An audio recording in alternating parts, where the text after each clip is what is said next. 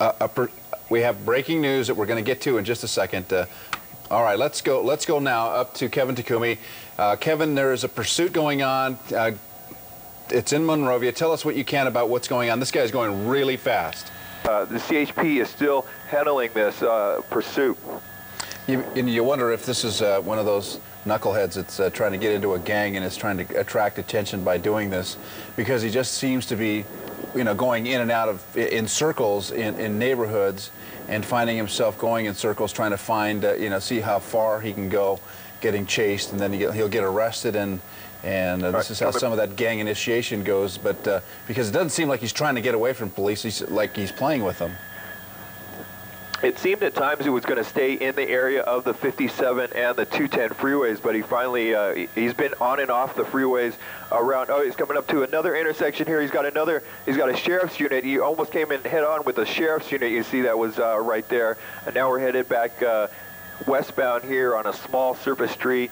Uh, you've got a lot of units in the area that's, uh, or in the area.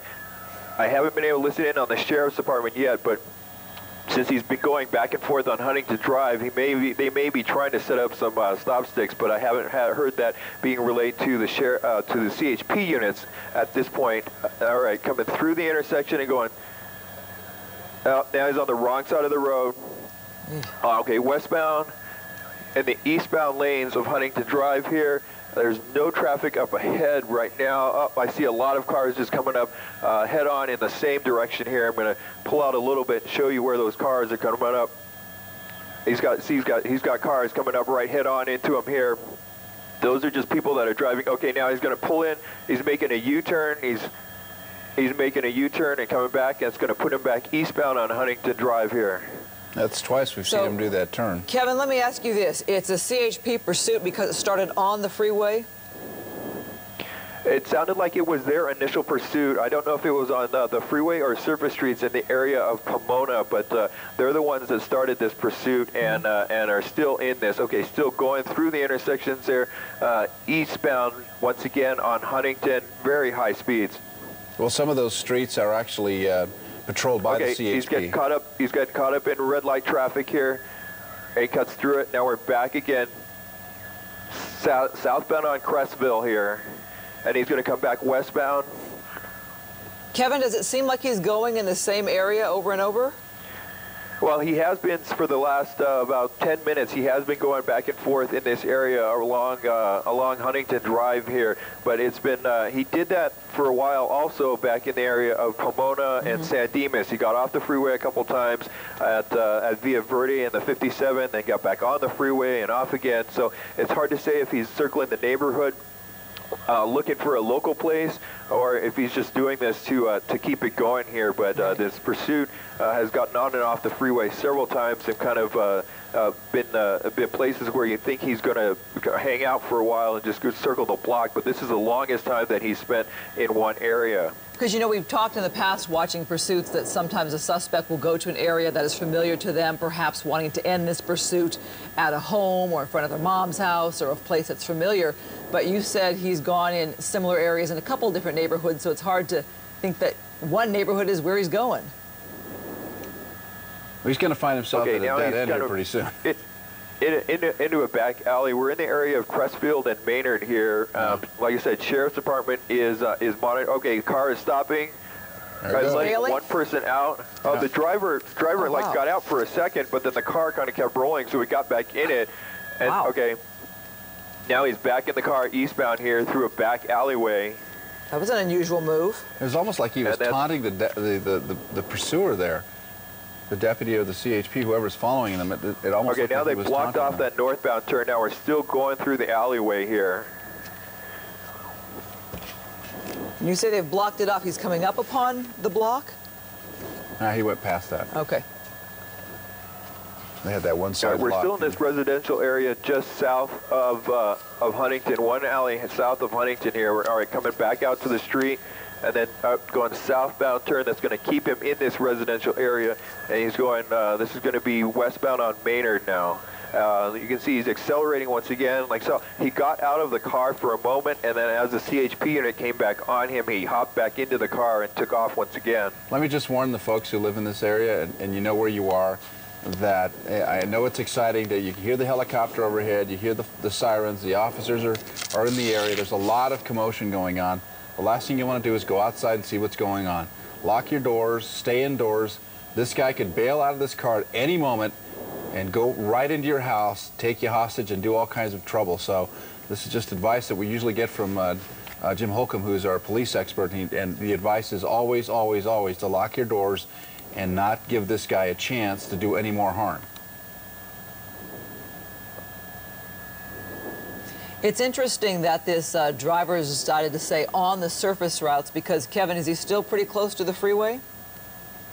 Uh, not really. It's going to take him a little while to get back to the freeway, Okay. getting over to Huntington Drive, and then get back over to Grand or someplace to get back on. Uh, like I'm trying to.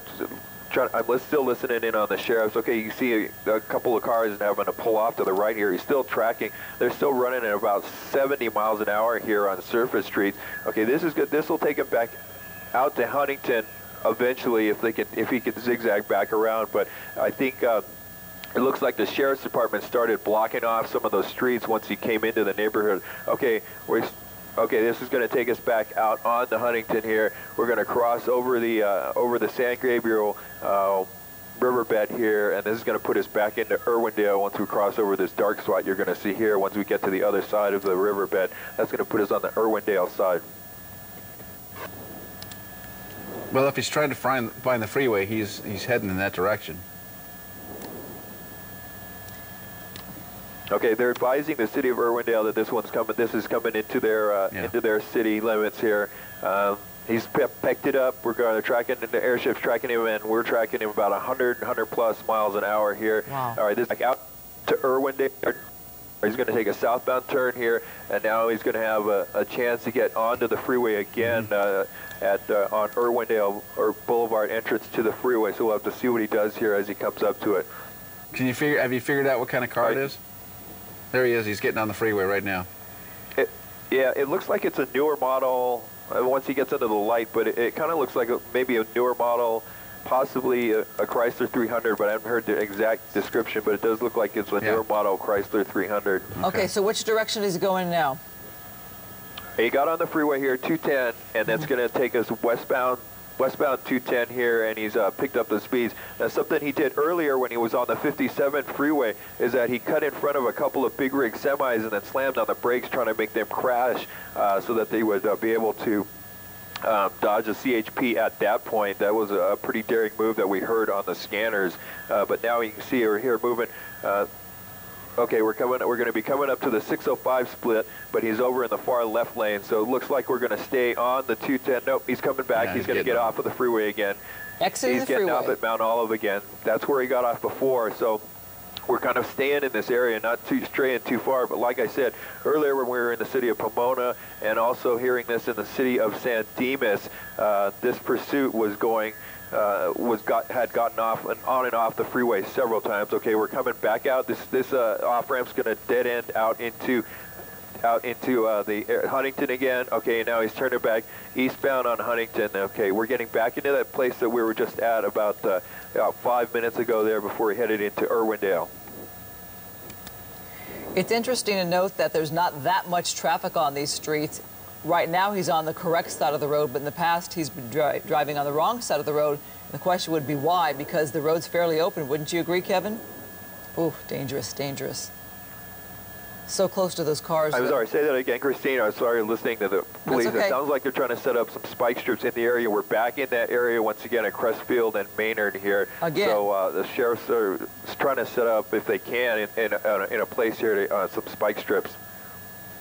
Any identification on the driver? Any any guess at all on the driver? No, no guess. And then the plates, uh, there weren't, there aren't any plates on the vehicle. That they, they tried running. Okay, driver's door is opening again. Car's coming to a stop. There he Driver's goes. running out. Okay, he's running. One person getting out of the car. Okay, he's back into that alleyway he was in before when he tried to get out. Eastbound in the alleyway here. So right, he's coming up to that point. Oh, Oh, that's where he stopped. Okay. Well, this is what we were talking He's about. If, to, you know, he's you, trying you to do the the fence. activity. Okay, he's still moving in the alley, or you still have CHP CHP officers coming in. Okay, they brought, brought the car in to block him in.